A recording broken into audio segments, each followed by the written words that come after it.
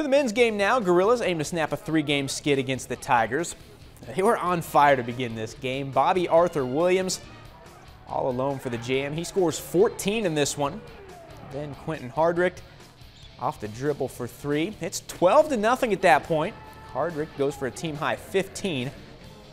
They're not done yet though. Antonio Givens really smooth on the block. Pitt State opens the game on a 22 to 4 run. And they didn't let up. Ike Moore connects from deep. PSU goes to half up 53-21.